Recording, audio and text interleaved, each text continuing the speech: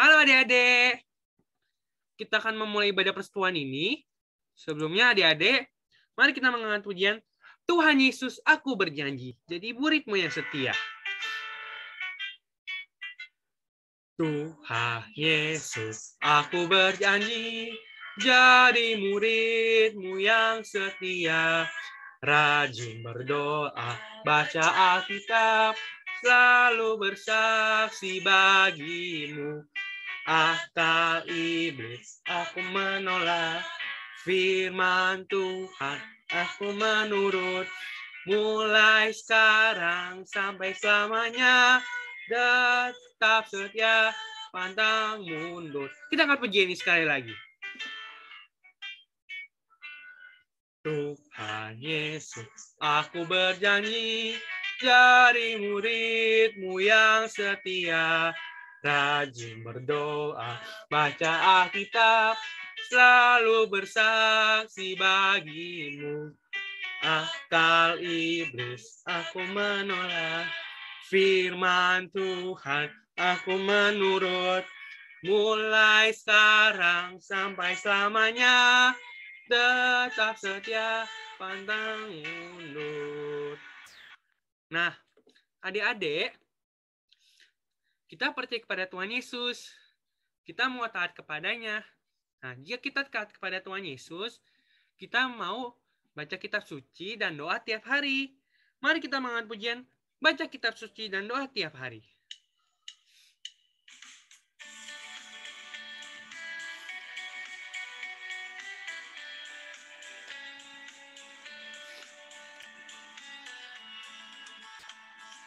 Baca kitab suci, doa tiap hari, doa tiap hari, doa tiap hari.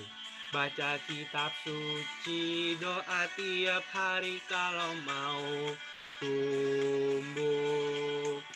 Kalau mau tumbuh, kalau mau tumbuh, glory haleluya, baca kitab suci, doa tiap hari kalau mau. Kita akan puji sekali lagi.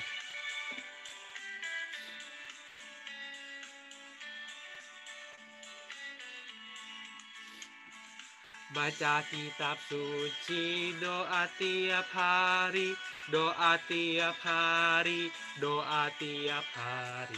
Baca kitab suci, doa tiap hari kalau mau tumbuh. Kalau mau tumbuh, kalau mau tumbuh, glory haleluya, baca kitab suci, doa tiap hari kalau mau tumbuh. Nah, adik-adik, Yesus itu adalah satu-satunya penolong kita yang sungguh. Dia berjanji akan kembali dan mengangkat kita semua. Mari kita mengangkat pujian, Yesus itulah satu-satunya.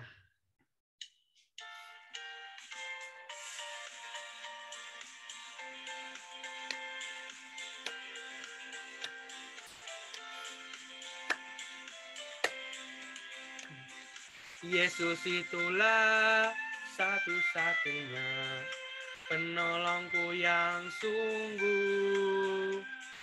Dia berjanji akan kembali angkat kita semua. Oh, haleluya. Puji Tuhan, upamu besar di surga. Oh, haleluya. Puji Tuhan, upamu besar di sorga. Kita akan puji ini sekali lagi.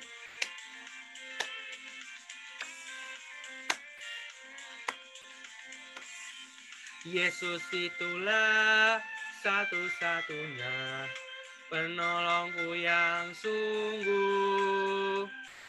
Dia berjanji akan kembali angkat kita semua. Oh, oh haleluya. Puji Tuhan, upamu besar di sorga. Oh, oh haleluya. Puji Tuhan, upamu besar di surga. Nah, adik-adik, Koko akan memberikan pengumuman. Yang pertama adik-adik, setiap hari Minggu akan, ada ibadah jam 1 melalui Zoom. Nah, link Zoom-nya adik-adik akan diberikan melalui grup WhatsApp sekolah minggu. Nah, yang kedua adik-adik, Kamis depan masih ada persetuan anak setiap jam 6 melalui YouTube. Nah, adik-adik, link videonya akan diberikan melalui grup WhatsApp sekolah minggu. Nah, adik-adik, sekarang kita akan mendengar firman Tuhan. Kita akan mengujiat karena begitu Allah cinta dunia. Karena demikian Allah cinta dunia.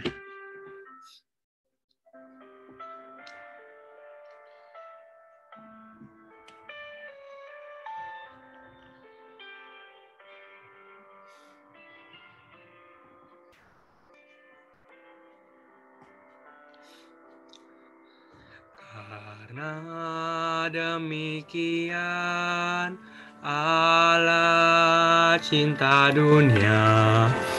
Hingga diberikannya anaknya yang tunggal supaya yang percaya jangan binasa melainkan dapat hidup tenang.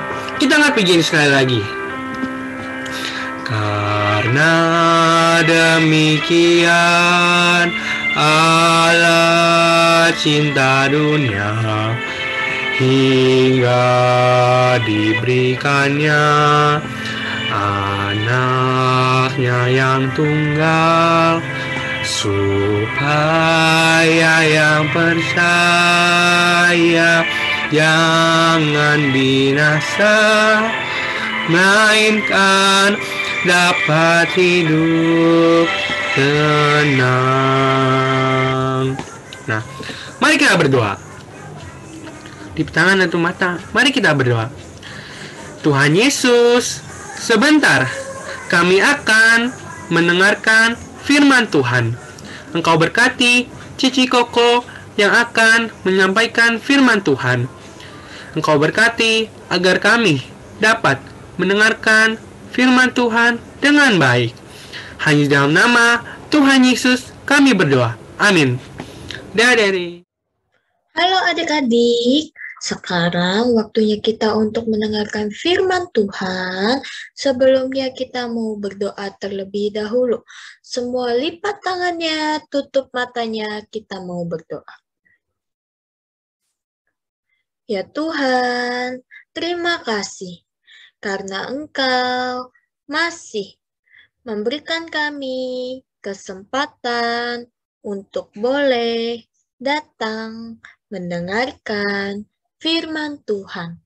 Tuhan pimpin supaya kami dapat mengerti tentang firman yang Tuhan ajarkan kepada kami.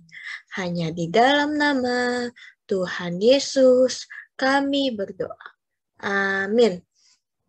Nah, siapa yang masih ingat cerita minggu lalu? Ayo coba sekarang dipikir-pikir dulu. Cerita minggu lalu tuh apa ya? Coba dipikir-pikir dulu. Iya, cerita minggu lalu itu tentang Samu, Samuel, tentang Hana. Nah, ceritanya gimana? Ceritanya Hana belum punya ah belum punya anak. Ceritanya itu Hana belum punya anak. Hana ini punya suami namanya Elka. Elkana. Nah, Hana ini dia mau punya anak. Dia mau punya anak. Lalu dia berdoa kepada kepada siapa? Kepada tuh kepada Tuhan. Dia berdoa kepada Tuhan dengan dengan sedih, dengan nangis, dia berdoa kepada Tuhan. Dia berdoa, dia meminta ah, anak. dia meminta anak. Lalu kalau misalkan dia diberikan anak, dia berjanji. Ada yang tahu gak janjinya Hana itu apa? Janjinya itu kalau misalkan dia punya anak, nanti anaknya itu akan diberikan kepada tuh kepada Tuhan. Untuk apa? Untuk melayani tuh untuk melayani Tuhan. Iya. Lalu, nggak lama kemudian, pada saat Hana berdoa, dia bertemu siapa? Bertemu dengan Imam Eh, Imam Eli. Iya, dia bertemu dengan Imam Eli. Imam Eli yang melihat Hana sedang berdoa dengan nangis, dengan se, dengan sedih. Imam Eli melihat Hana yang sedang berdoa kepada Tuhan.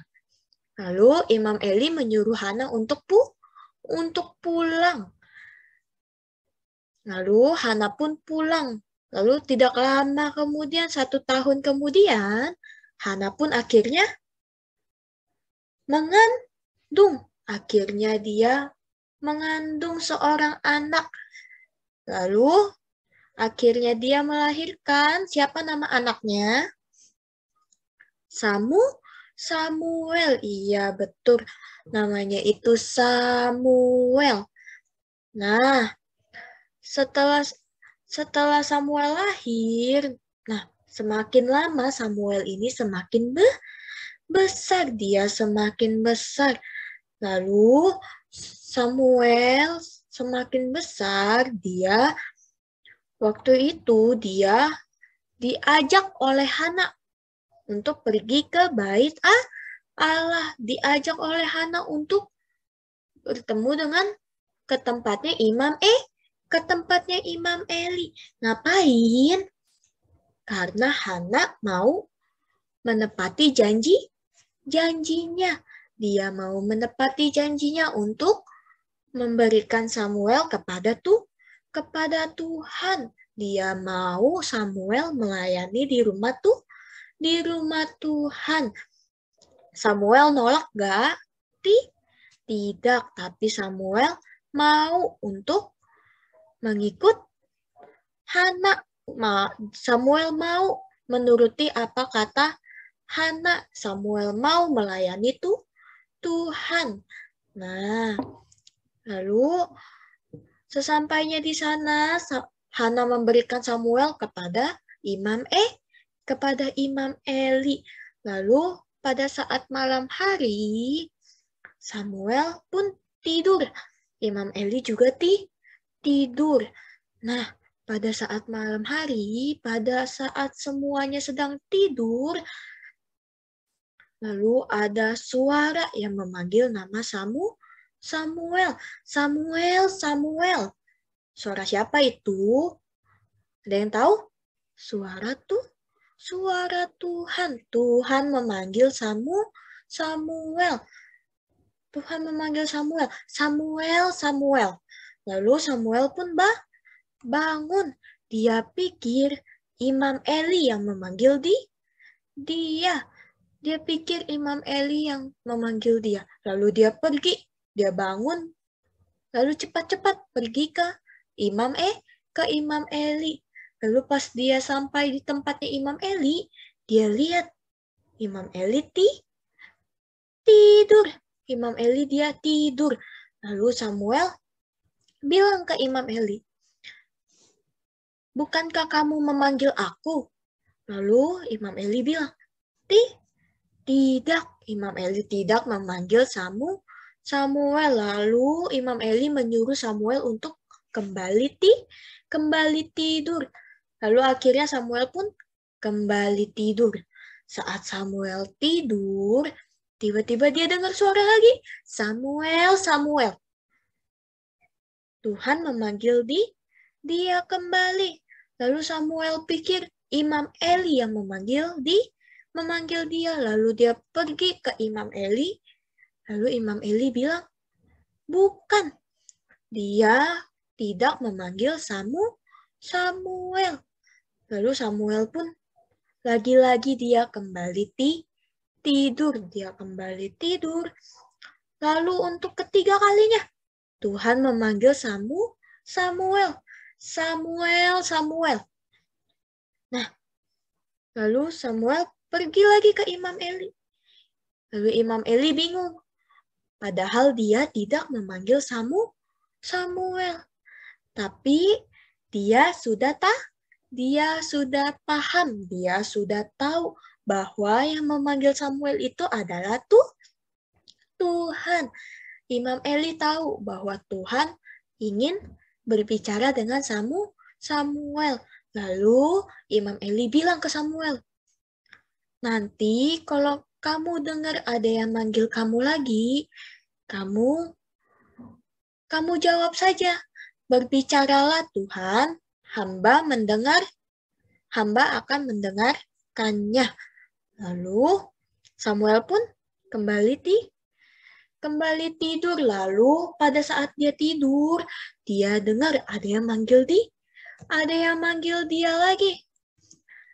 Dia dengar ada yang manggil dia lagi. Samuel, Samuel. Lalu Samuel menjawab menjawab sesuai apa yang dikatakan oleh Imam Eli.